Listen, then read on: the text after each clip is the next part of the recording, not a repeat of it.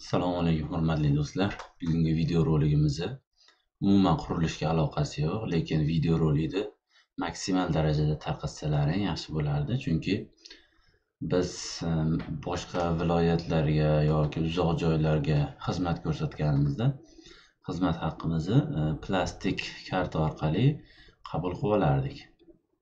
Endi bundan bir hafta 10 kuncha oldin biz plastik raqamimizga ma'lum miqdorda pul tushdi. O'sha pulni e, egasi topilmadi, qissa qilib aytadigan bo'lsak, ya'ni hech kim bizga murojaat qilmadi pul tushirganligi to'g'risida ham. E, boshqa amaliyotlar ham bo'lgan, pul tushgan, lekin aynan o'sha e, hozirgi aytayotgan pulimni egasi topilmadi. O'shaning uchun videorolik qilib chiqaryapman.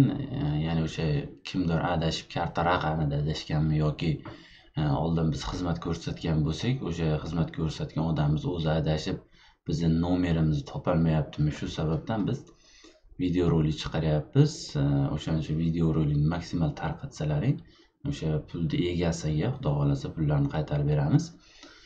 Endi bizga bog'lanish uchun mana shu videorolikni описаниясida biz telegram manzilimizni qoldiramiz. Shu telegram manzilga e, murojaat qilishadigan bo'lsa, e, murojaat qilish qanaqa tartibda bo'ladi? Ya'ni bizga birinchi o'rinda o'tkazilgan pulni miqdorini, e, o'tkazilgan pul sanasini va chekini tashlab berishlariga to'g'ri keladi. O'sha 3 ta narsani bizga tashlab berishadigan bo'lsa, shunga qarab turib biz o'sha rostdan ham yo'qotganmiz, shuni bilib turib, o'zlariga pullarni qaytarib tashlab beramiz.